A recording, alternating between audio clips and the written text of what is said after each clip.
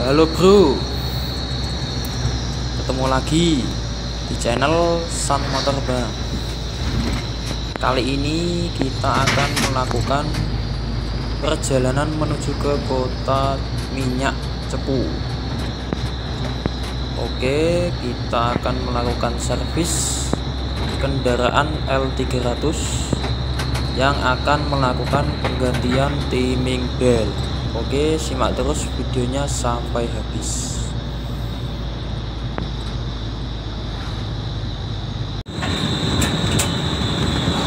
Cuaca kali ini sangat cerah. Begitu juga semangat kita selalu cerah. Oke tetap semangat Dan terus berkarya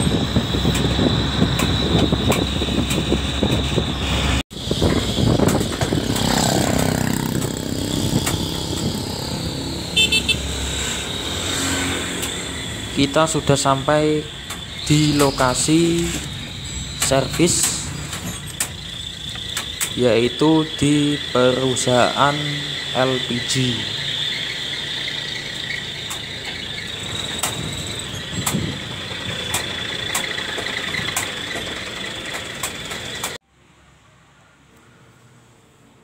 proses pengerjaan unit L300 2 unit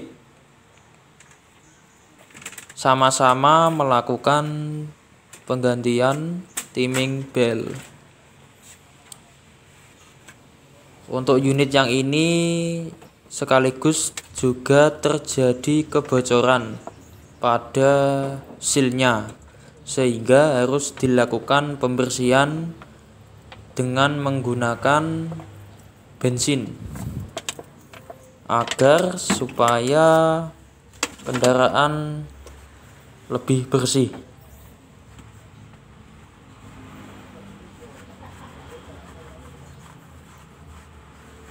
Kita lihat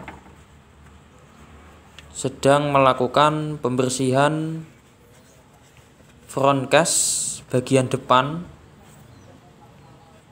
Ini bertujuan agar timing bell nantinya tidak terkena oli sehingga timing bell lebih awet.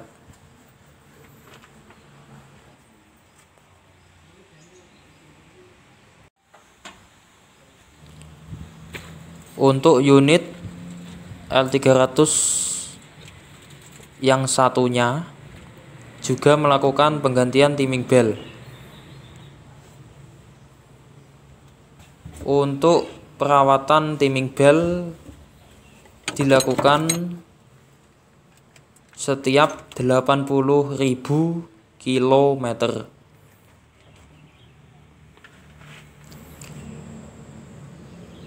hal ini dilakukan untuk menghindari adanya kejadian putus timing bell untuk akibatnya bisa menyebabkan biaya yang sangat besar. Bila kejadian putus timing bell ini terjadi bisa menyebabkan putaran antara crankshaft dan camshaft tidak seimbang sehingga menyebabkan benturan antara piston dengan klep. Hal ini bisa menyebabkan klep bengkok, bahkan bisa menyebabkan patah pada klepnya.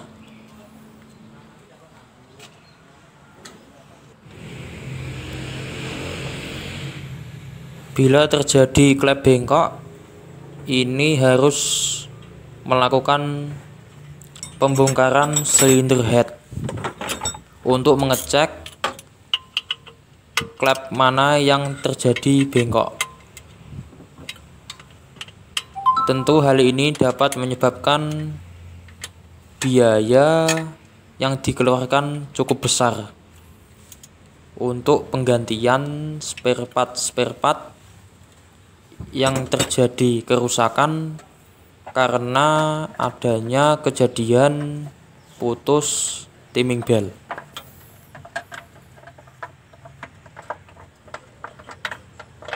Untuk unit yang ini sudah melakukan pemasangan cover timing bell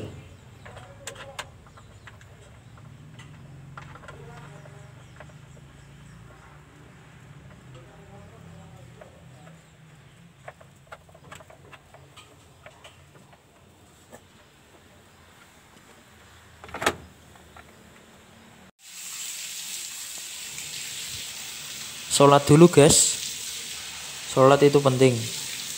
Oke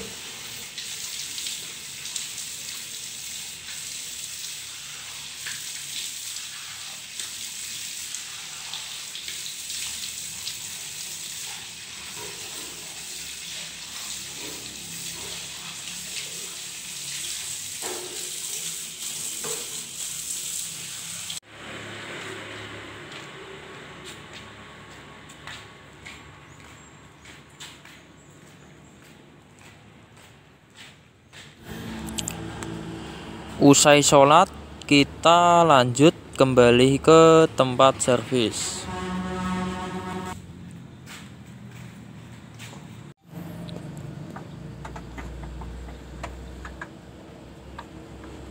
Kembali ke unit L300 yang mengalami kebocoran oli.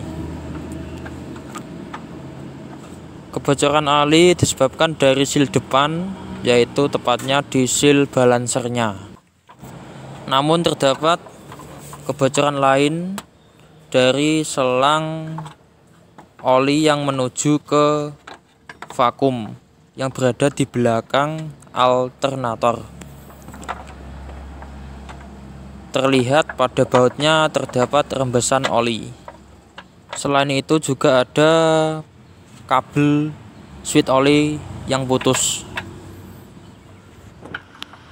sehingga pada dashboard lambang oli menyala.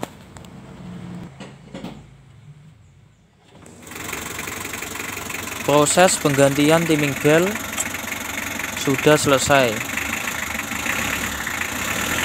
Selanjutnya mesin kita hidupkan. Jangan lupa kita juga mengecek apakah setelah dilakukan penggantian seal masih ke, terjadi kebocoran atau tidak?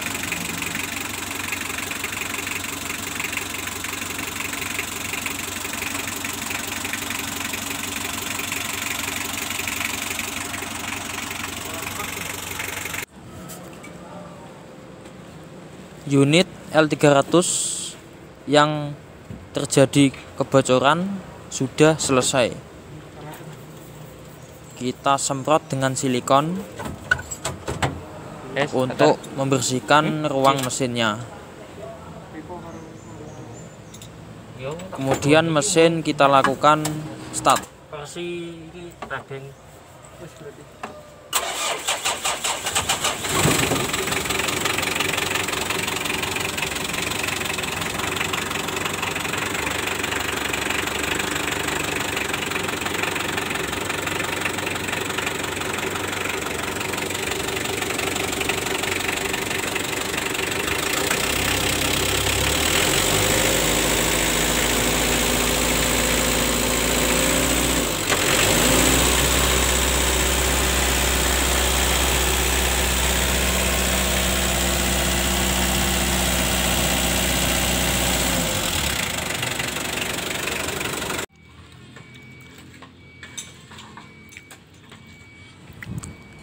nyate dulu guys habis servis cocoknya kita makan sate oke okay?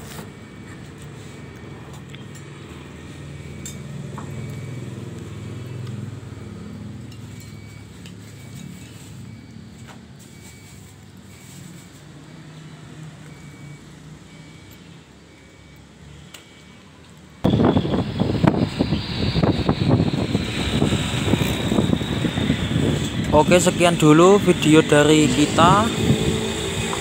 Untuk teman-teman yang belum subscribe silahkan di subscribe Jangan lupa nyalakan tanda loncengnya.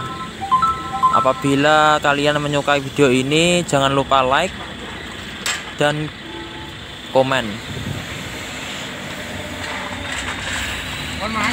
Tetap jaga kesehatan di tengah pandemi corona salam otomotif